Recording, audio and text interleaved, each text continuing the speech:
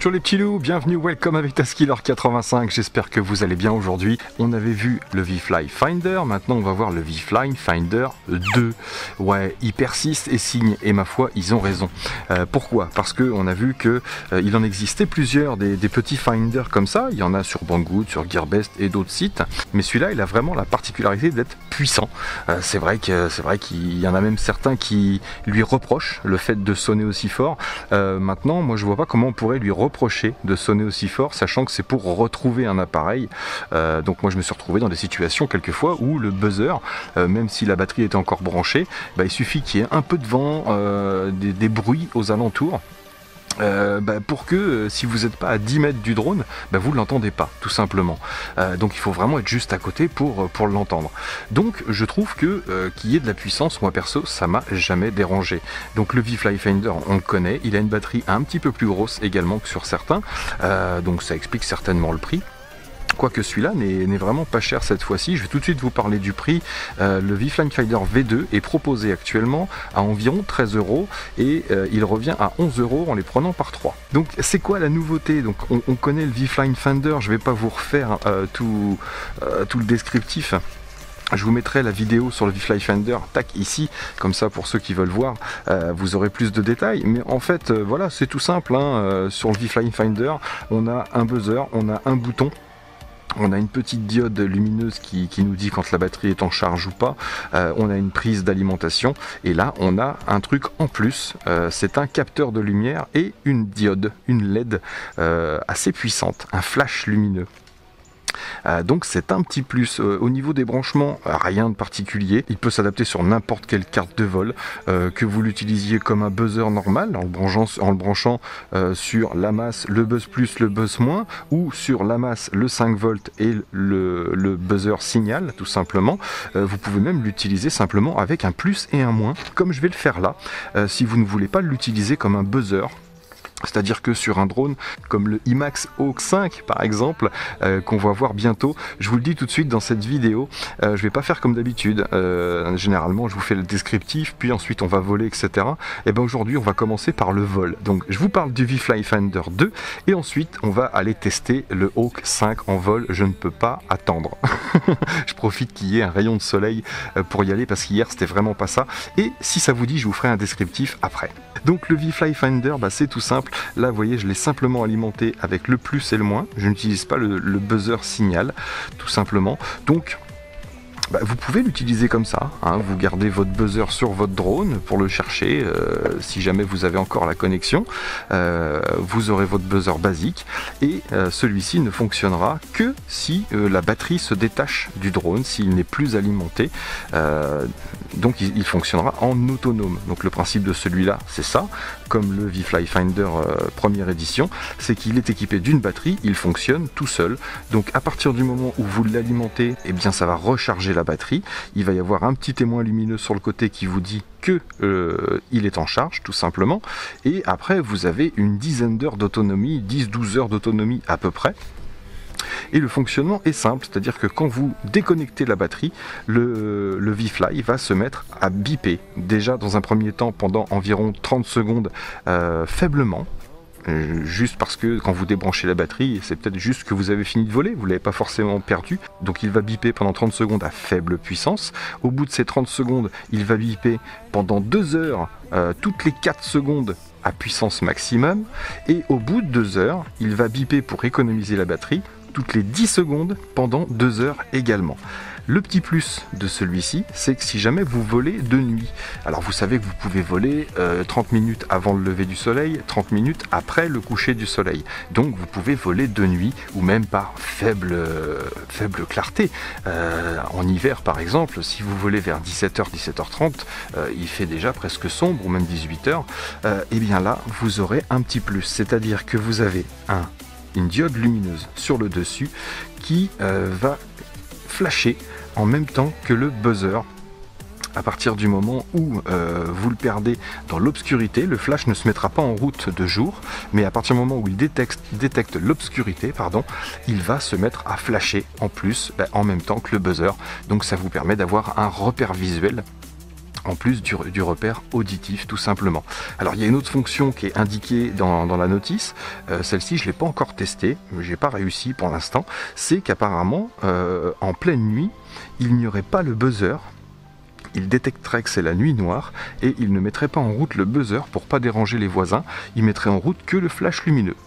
Alors ça, je ne l'ai pas encore testé parce que je ne l'ai pas fait en pleine nuit, mais je pense que je vais essayer ce soir. En attendant, je vais vous montrer comment ça fonctionne. Donc là, je vais juste l'alimenter avec une petite batterie. Tac.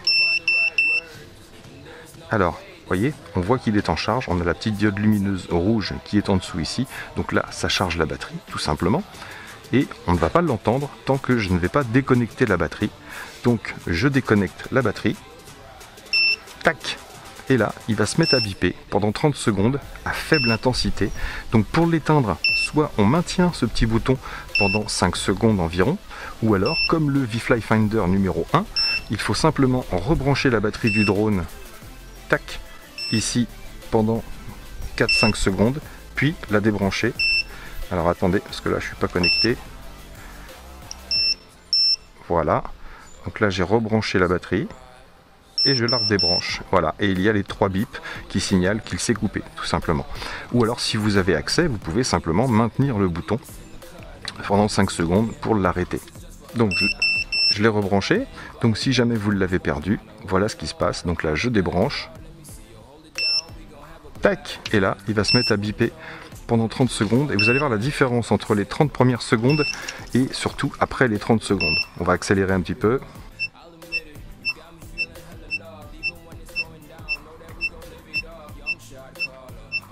Voilà, on y est presque. Donc je reste à la même distance pour que vous ayez la différence de son. Et voilà, c'est parti. Donc voilà, pendant deux heures, ça va faire ça, tout simplement. Donc je maintiens le bouton pendant 5 secondes. Il bip trois fois pour dire qu'il est bien arrêté. Bon allez, on va se faire un petit test dans le noir, histoire que vous voyez le flash lumineux. Et après, on part pour voler avec le IMAX Hawk 5. C'est parti donc voilà, j'ai perdu mon V-Fly Finder, j'ai perdu mon drone. Regardez, regardez comment ça se passe. Vous voyez, dans l'obscurité, automatiquement, vous avez le petit flash lumineux en plus du beeper. Donc j'avoue, c'est assez flashy. Ça se voit vraiment bien. Vous voyez la petite diode qui est dessus. Bim Donc flash assez puissant quand même, qui se repère d'assez loin à mon avis. Hop, j'ai appuyé dessus tout de suite. 5 secondes bip, c'est fini. Donc voilà à quoi sert le V-Fly Finder V2 avec sa petite diode en plus. Bon, on vole pas souvent dans le noir, mais dans l'obscurité, ça peut le faire. Donc voilà, allez, je vous laisse dans l'obscuritisme. On va voler. Yep les amis, c'est parti pour le premier test du Hawk 5 IMAX. Euh, j'ai un peu la flippette comme d'habitude, hein. moi ça va être mon premier vol réel, à part le petit décollage dans ma cour pour euh, les réglages bien sûr, pour la mise en route. Euh, pour répondre pendant que j'y suis à Emmanuel Alien qui me demandait si on pouvait voler quand il y avait du vent avec un racer. Aujourd'hui on a un vent entre 30 et 50 km h avec des petites rafales, donc oui on peut voler avec un racer. le conseil que je vais vous donner quand même c'est d'être face au vent, d'avoir le vent en face de vous. Euh, c'est mieux, ça ramène le drone plutôt que de l'éloigner. Euh, mais si vous êtes en FPV, normalement ça ne vous pose pas de problème. 50-60 km h c'est pas le pire qu'on puisse avoir pour un racer. Ils n'ont pas beaucoup de prise au vent. Donc oui, on peut voler à partir du moment où vous maîtrisez un petit peu, euh, surtout en vol à vue. Attention à ne pas vous faire déporter. Donc le vent en face de vous, rappelez-vous. là, j'ai emmené la petite session. Pour l'instant, je vais la retirer, mais je vais laisser la protection puisque ça me protège l'antenne et ça me fait un amortissement si jamais je tombe sur le dessus ça amortit plutôt que ce soit les hélices, la caméra qui prennent. Euh, je préfère, voilà, ça, me fait une petite garde, je suis encore pas sûr de moi. Euh, donc c'est parti. Allez, on va commencer par une petite 3S Tattoo 1550 mAh. On va voir un petit peu ce qui donne en 3S avant d'attaquer les choses sérieuses. Alors, c'est parti, je reste en mode stabilisé, préarmement comme d'habitude. C'est parti Alors vous voyez, il vient directement vers moi. Alors si je le mets en stabilisé, avec le vent qu'il y a, automatiquement, il est rabattu vers moi. Donc ça prend le vent, hein, bien sûr. Mais si vous maîtrisez un petit peu, vous pouvez le maintenir sans problème. Alors, qu'est-ce que ça donne en 3S On va se faire un petit test de punch tout de suite. Ah, je vais pas me mettre face au soleil, je vais me mettre par là. Alors, test de punch en 3S avec le petit IMAX Hawk 5 dans 3, 2, 1. Et c'est déjà correct. Hein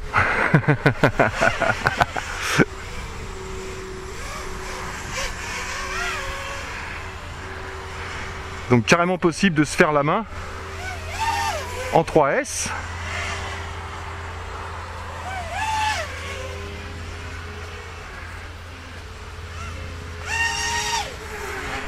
Ah, il siffle bien. Hein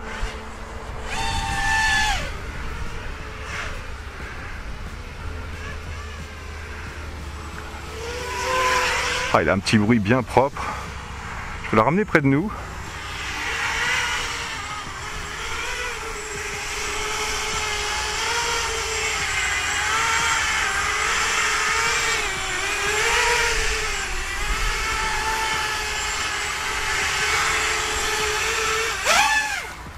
Ça marche. Hein. Bon.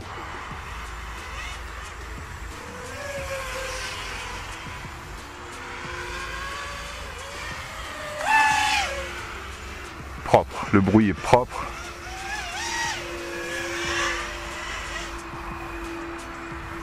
Nickel. Allez, on va se le ramener et on va tout de suite installer une 4S. Une petite 4S 1000 mAh juste pour avoir la patate. Alors c'est pareil, j'ai commandé des batteries en 100C puisque les miennes ne dépassent pas les 70C.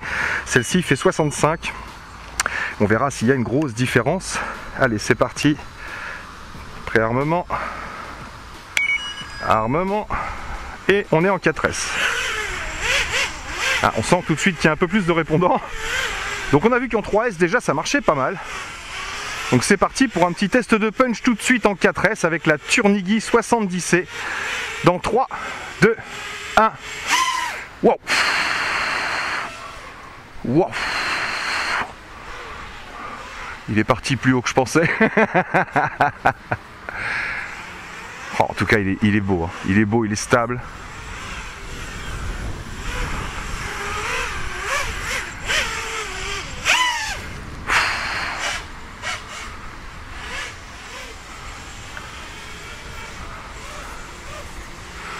Beau petit joujou. Hein.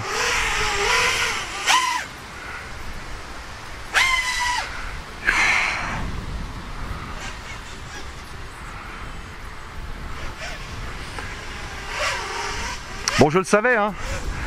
Je vous dis, je l'avais testé vite fait avec mon petit Fab qui m'avait fait essayer son, son joujou. Et puis, bien sûr, hein, j'ai vu des revues. Il n'y a pas grand monde qui s'en plaint de ce joujou-là. Et je les comprends. Rien qu'en vol à vue, on sent qu'il est sain. Allez, on va pas faire grand chose. On va tout de suite partir en FPV. On a vu que ça marchait. Je vais garder la fin de batterie pour tester un petit peu le vol. Ce sera mon premier vol en FPV. On enlève la capsule. Armement. Oh, j'ai le stress. J'ai la tremblote. Vous voyez pas mes doigts, mais j'ai la tremblote. Allez, on va juste finir la batterie. Donc la Foxir Arrow Micro Pro est super propre. J'ai fait un ou deux petits réglages, je vous en parlerai bien sûr dans ma prochaine vidéo.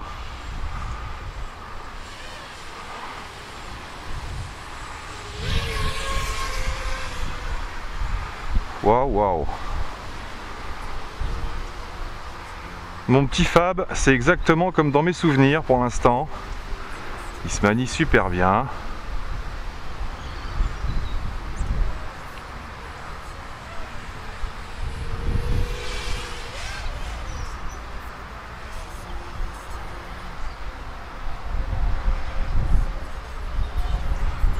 Ah, j'ai encore oublié de sortir mon antenne. Hop. Même si ça change pas grand chose. Niveau réception, ça va. En plus, je suis en 25 mW, faudrait que je mette en 200. J'ai pas changé depuis euh, les réglages sur le banc. J'y vais doucement, hein. je me fais la main avec la fin de batterie. Voyons, pour du 25 mW, c'est propre derrière les arbres. vrai que c'est un drone qui est super loqué. Allez, on va installer une batterie neuve. Ce sera bien plus sympa. Ah, c'est propre, l'image est propre.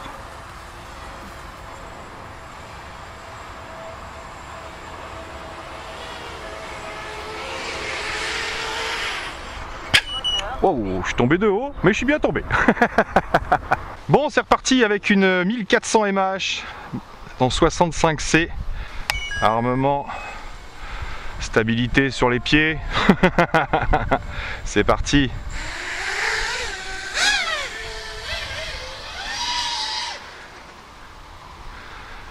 Ah, c'est clair qu'il est bien loqué.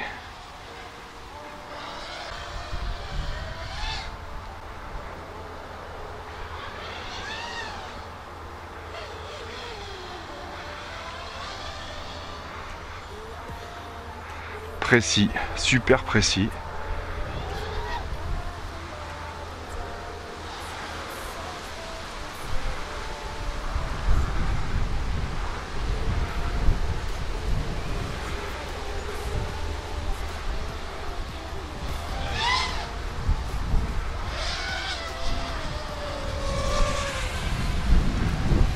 On va faire un petit power loop en essayant de ne pas se faire un power croûte.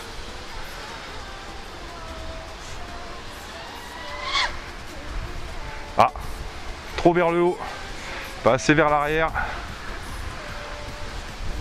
Donc niveau réception, c'est plutôt sympa. Oh, la caméra, elle est vraiment pas décevante. Pareil en réception euh, radio, je suis encore en FS-A8S. Donc vous pouvez voir que, que ça y va. Ah, je suis en balade. Hein.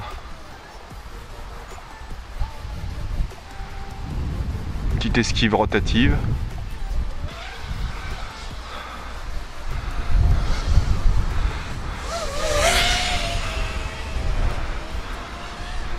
Excellent.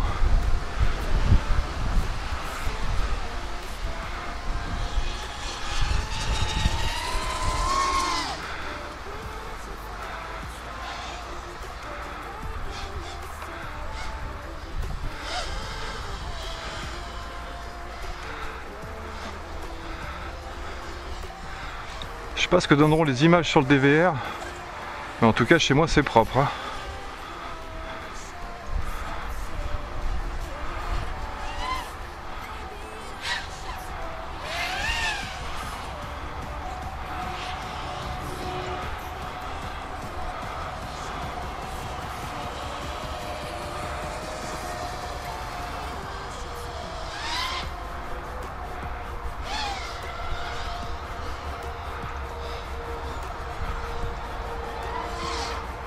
Excellent.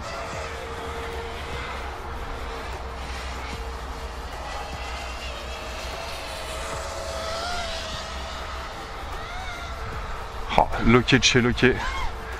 Oh merde Oh la vache, petite touchette avec récup. ah j'aime bien enrouler les arbres mais alors là il était trop enroulé quoi. Allez on va se le refaire un peu plus éloigné.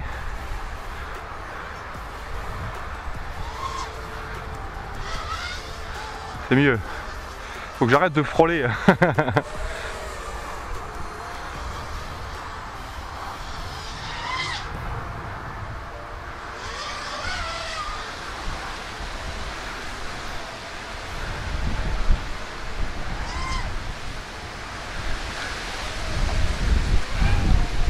Oh, il est loqué de chez loqué.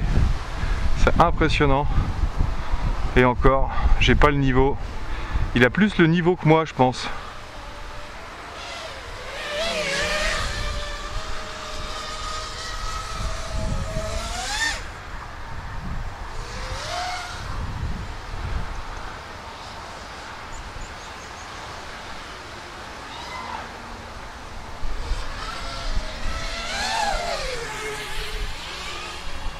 Magnifique. Allez, on va se poser. On est au bout de la batterie.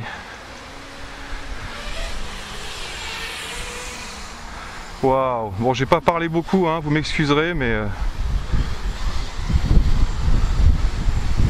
Oh, le vent me pousse, c'est terrible.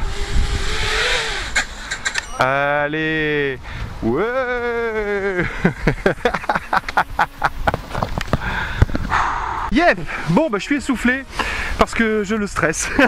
je vais pas contredire les gens. Euh, le IMAX Hawk 5 est vraiment une petite tuerie. Euh, je vous dis, il a largement plus le niveau que moi. Mais ça va venir, vous inquiétez pas, je persiste. Euh, donc moi je vous laisse là-dessus. Donc pensez à aller jeter un oeil pour le petit V-Fly, le petit buzzer, le V-Fly Finder V2 euh, avec sa petite lumière. Euh, et puis bah, nous on se retrouve bientôt. Bien sûr, je vous fais une revue complète euh, là-dessus, un, un détail bien sûr sur ce qu'on peut faire, comment on peut placer les choses, les réglages, etc. Euh, pour ceux que ça intéresse, dites-moi dans les commentaires si vous vous en foutez, que vous en avez vu assez sur le Hawk 5. Euh, et puis moi je vous laisse sur des petites images euh, en Full HD si je le casse pas, bien sûr. Allez, moi il me reste plus qu'à vous dire là-dessus. Surtout, portez-vous bien. À très bientôt dans mes vidéos. Ciao ciao